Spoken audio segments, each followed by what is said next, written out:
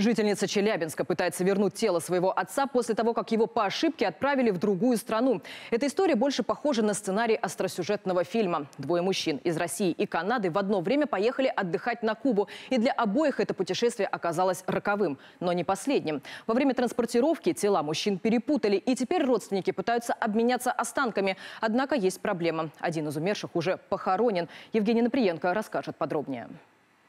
Дочь Ильи Нероева уже месяц приходит на кладбище с печальными мыслями, но переживания совсем не потому, что скончался ее отец. Хранила папу, а в итоге оказалось, что здесь лежит совершенно другой человек. Похороны состоялись в начале апреля. Еще тогда появились сомнения, что прощаются с Ильей. Последний раз его живым видели в марте, когда он улетал со своей знакомой на Кубу. В первый же день на острове Свободы россиянин пошел менять деньги и больше не вернулся. Его не было два часа, там спохватились, ну, где находится турист. Вот. Знакомая пошла, получается, на ресепшн, э, спросила, не видели ли вы этого человека, и ее проводили к телу. Его полностью не показали, то есть оно частично было накрыто. Показали только по-моему, голову. Новость о смерти близкого человека оказалась не самой страшной. Семья три недели ждала отправки тела в Россию, а впервые его увидели только в церкви. Присутствующих убедили, что все различия во внешности – результат бальзамирования. Однако в мае узнали, что похоронили чужого человека. Со знакомой Нероева связалось посольство Канады. Оказалось, что жители Монреаля также не узнали своего родственника. 68-летний Фарах Жарджур умер на Кубе, однако в гробу, который доставили в Монреаль, лежал не он.